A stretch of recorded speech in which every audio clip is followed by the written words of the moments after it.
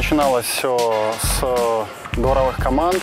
Регби в Беларуси – это э, вид спорта энтузиастов. Команды существуют исключительно за свои собственные э, денежные э, средства. Мы попытаемся развить это до такого формата, чтобы в Беларуси это был действительно такой хороший, крутой ОПНР. Я пришел, привет, заходи. Играют очень активно, и девушки наши тоже очень серьезно играют, и мужики тоже нормально играют. Это не страшно, как это выглядит со стороны. Вот это вот лебедь, которая только что пришла на тренировку в платье, да, красивая, переоделась в форму, лупит мужчин, заносит им попытки, это очень красиво, я вам скажу.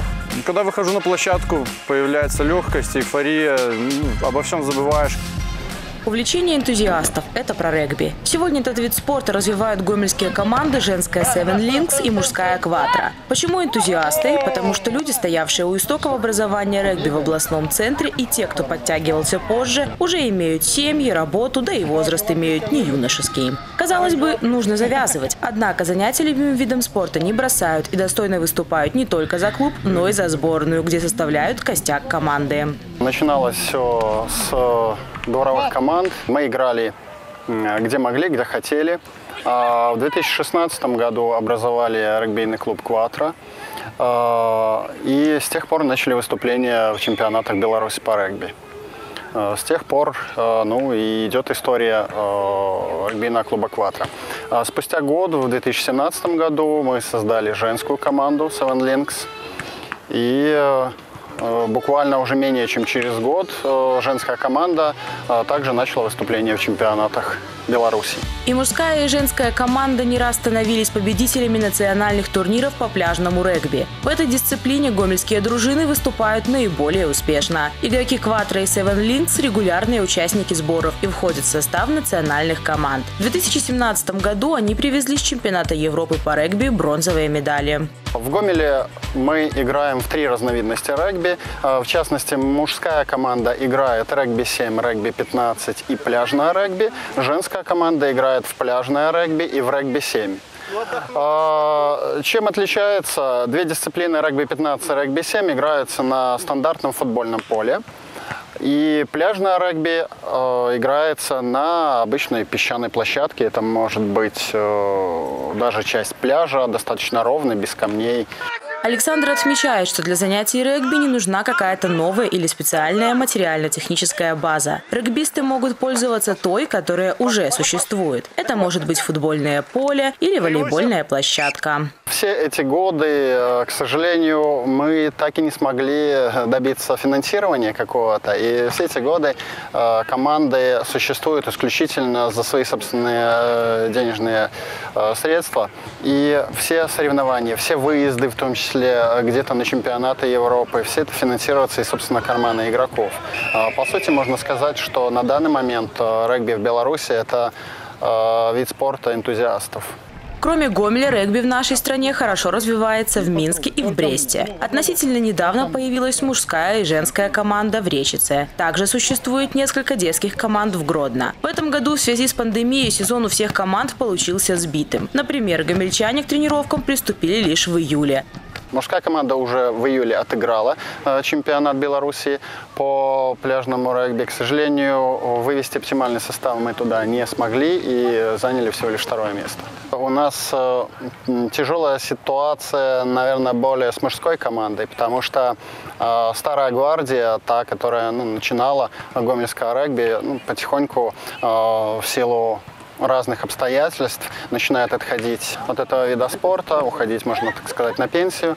Вот. И э, более молодое поколение, новые игроки, которые, э, ну, еще не зацепились на этой волне энтузиазма первоначального, они еще, в принципе, э, не достигли той формы, которая бы позволяла э, гомельской команде выступать на уровне первых годов, когда мы выступали. Э, в данный момент мужская команда Э, нуждается очень сильно э, в пополнении как раз-таки новыми игроками.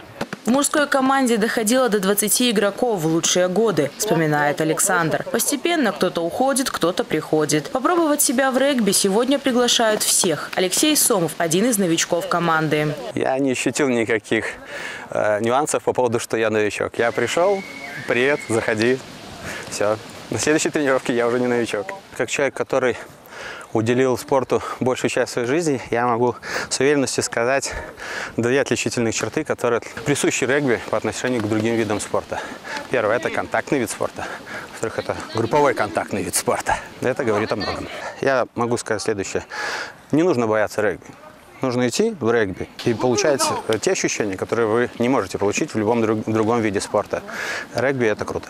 А, здесь э, уникальность этого вида спорта состоит в том, что, в принципе, под конкретного человека можно подобрать определенную позицию на поле, и здесь абсолютно, ну, как э, может показаться со стороны, где-то, может быть, влияет какие-то габариты, на самом деле нет. Здесь абсолютно разные способности от потенциала потенциального игрока требуется. Ну и даже есть такое выражение, что в принципе в регби не главное вес, рост или возраст, в регби главное не бояться. Что касается женской команды Seven Links, ее состав практически не менялся с момента создания дружины.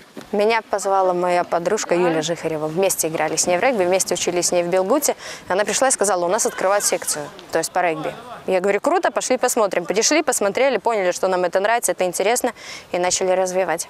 Спортсменок было немного, но этого количества хватало, чтобы выступать на соревнованиях с минимальным числом замен. Регбисткам удалось сохранить костяк. Но сегодня они также нуждаются в новых игроках, как и мужская дружина. Каждый гомельчанин может прийти, и э, мы постараемся как раз-таки распознать в нем те уникальные качества, которые можно использовать на какой-то позиции. Здесь, в принципе, зависит от каждого просто сделать первый шаг, убедиться, что это не страшно, как это выглядит со стороны. В мире достаточно развито, в том числе и ветеранское регби, э, с категориями 70+, где игроки преспокойно играют Э, старше 70 лет разыгрывает какие-то э, свои соревнования. То есть здесь пока э, игрок сам для себя не решит, что ему пора на пенсию, он может играть.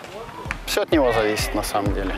Конголезец Планди Банза играет в регби уже 4 года. Год назад он поступил в аспирантуру Гомельского государственного университета имени Франциска Скорины. Здесь он узнал про клуб «Кватро» и решил прийти на тренировку. Так до сих пор и выступает с гомельчанами. На вопрос, почему именно этот вид спорта, отвечает – просто любит регби. Я в Ростов-на-Дону играл регби в «Импульс». У меня много ребят, друзей сегодня играют за локомотивы, за сбор России. В России более серьезно относятся к регби, чем в Беларуси. Допустим, у нас в команде в России было около 25 вообще людей в составе. Чтобы попасть на поле, было сложно. И была серьезная тренировка. Мы приходили на тренировку иногда просто в 5 и заканчивали половина девятого или половина десятого. Это было более серьезно, и постоянно были соревнования, постоянно играли. Я понимаю, что э, в России другой уровень регби из-за того, что у них финанс есть, их позволяют этим делать, а в Беларуси у нас пока сложности с финансом. Бланди подтверждает, что людей не хватает. Он считает, что многие боятся играть в регби и думают, что они здесь травмируются. Я даже хотел бы приглашать друзей, чтобы они приехали у нас в команду играть. Команда очень мирная. Если они меня приняли, значит вас тоже примут. Играют очень активно. И девушки наши тоже очень серьезно играют, и мужики тоже нормально играют. Поэтому не говор... может быть кто-то более, как вы только что сказали, что очень добрые люди, но на поле тут доброта надо куда-то взять, бросать и просто играть по жесткому и серьезно. В прошлом году гомельские команды провели уникальный фестиваль регби, главной задачей которого было рассказать как можно большему количеству людей про этот вид спорта. Аудитория – студенты. Спортсменам-энтузиастам удалось подтянуть немало спонсоров и участников. Гостям фестиваля рассказали, что такое овальный мяч и наглядно показали, как им пользоваться. Фестиваль получился интересным, ярким. А, в Гомеле, ну, как бы давненько такого спортивного мероприятия не было, да, сделанного именно энтузиастами. Вот, поэтому нам понравилось, было здорово, было классно. У ребят были тоже как бы положительные фидбэки, они сказали, что давайте еще пробовать. В этом году у нас не получилось, конечно, из-за пандемии, но я думаю, что либо осенью мы что-то наверстаем, либо уже на следующую весну будем что-то планировать в формате фестиваля. Организаторы опасались, что не будет интереса. Регби все же не настолько популярен, чтобы проводить фестиваль интересовали, как, к примеру, футбол. Однако гомельским командам удалось собрать несколько сотен человек. Мы попытаемся развить это до такого формата, что в Беларуси это был действительно такой хороший, крутой ОПНР, да, где ребята могли поприйти, попробовать себя, потрогать мяч, понять, как э, вообще, какие элементы регби есть и э, осознать, подходит для них этот вид спорта, либо нет. К слову, спортсменки реализовали проект «Регбистки на поле и в обычной жизни». Его цель была показать, что такое женское регби. Девушки рассказывали и показывали, кто они за пределами площадки и на поле. Женщины регби – это красиво, потому что, во-первых, мы видим красивых, милых девушек, да, которые нас очень женственные, да, достаточно умные, потому что почти все у нас с высшим образованием работают, и когда они выходят на регби, они показывают то самое мужество, которое не показывают даже обычные парни, на, проходящие мимо на улице. То есть это вот это вот лебедь, которая только что пришла на тренировку в платье, да, красивая переоделась в форму, лупит мужчин, заносит им попытки, это очень красиво, я вам скажу.